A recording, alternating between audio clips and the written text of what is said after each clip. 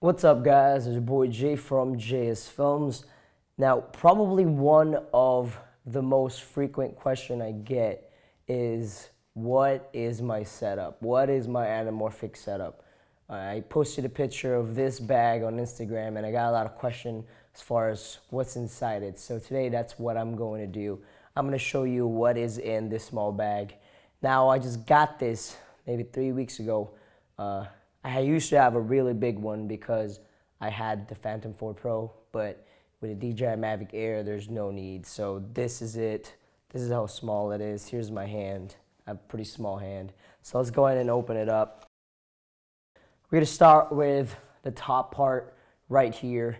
Now this is a Sigma 1835 1.8. Probably, probably be the best lens for a crop sensor and below. To mount this on my Panasonic GH5S, I need a Metabone Speed Booster Ultra 0.71. So that's this little thing here. That's connected to the lens. We got a lens cap or lens cover. And then we got a 72 to 77 millimeter adapter because I have 77 millimeter ND filters and 72 millimeter. So that's that.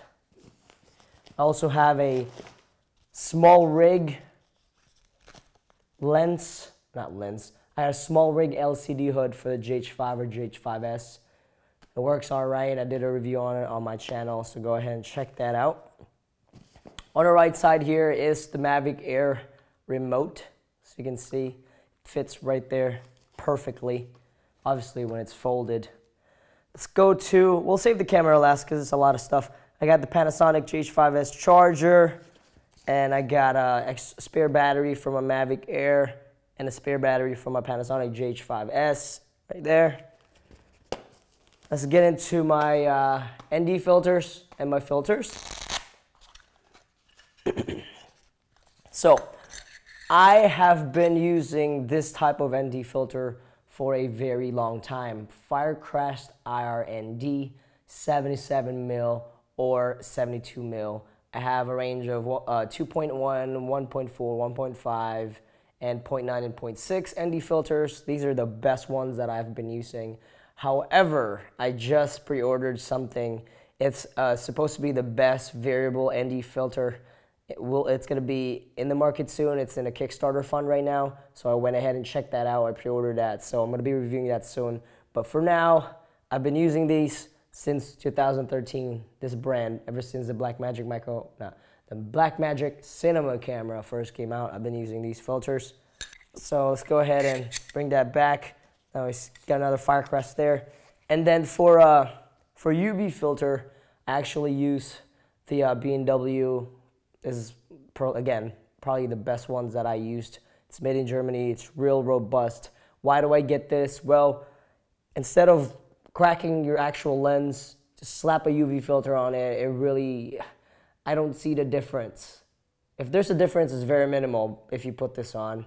So it's worth it just getting this for like 97 to $100 rather than cracking your actual lens. So invest in some UV filter. It's real good. And I got some more ND filter there. All right, let's move on to this little thing here. This is, believe it or not, is a 4K camera drone. This is the amazing Mavic Air. Fold it up just like that. That's why I love this freaking drone, man. It's insane. Can't wait to test it out against Anafi drone. Uh, we'll move into the sides real quick. Really just miscellaneous stuff. Got some converter filters, filter threads, step down filters. I got a cover for the SLR Magic adapter. I got my props, which shouldn't be really lying around like that because that's a really bad idea. I should have put it in the bag or something. And, you know, just got screwdrivers, some lens cleaners, and then move it up to this top zipper. I got me uh, extra props because I was I went to Norway. I didn't really need them, and an extra USB cable for the DJI Mavic Air, little memory card holder, and you gotta have your rosary in there, man. You gotta have your rosary in there. So people, when they steal your bag, they look at that and they're like, oh man, I shouldn't be doing that.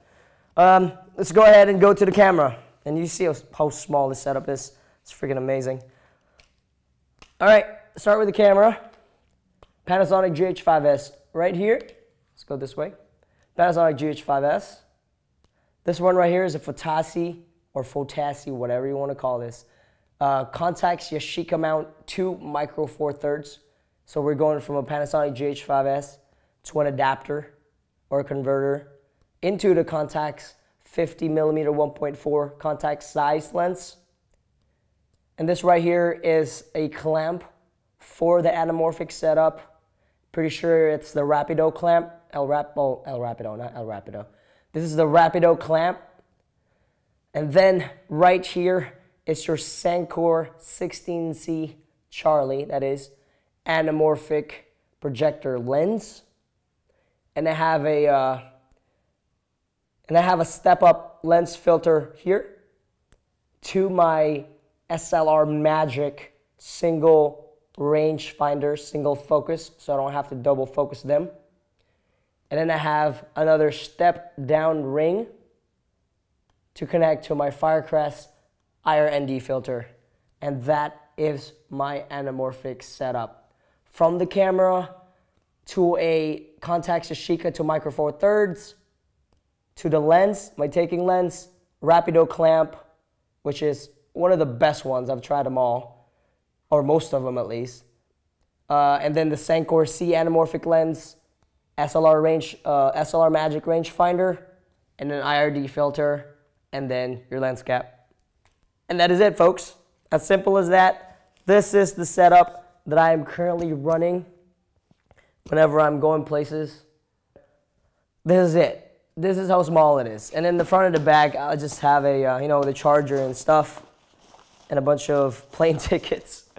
Because uh, I use this as my, you know, carry-on, like, personal item. They don't even ask me. When I used to have the big one, they would ask me to weigh it. But when they, whenever they see this one, they're like, oh, it's so small, they don't even care about it. So it's really nice. It's a Case Logic. I just got it, you know, somewhere, probably at Walmart. Real, it's like a $100. Uh, it works for me. But yeah, if you have any questions, I hope that answered probably the most freaking question I get on YouTube. And I'll see you guys later.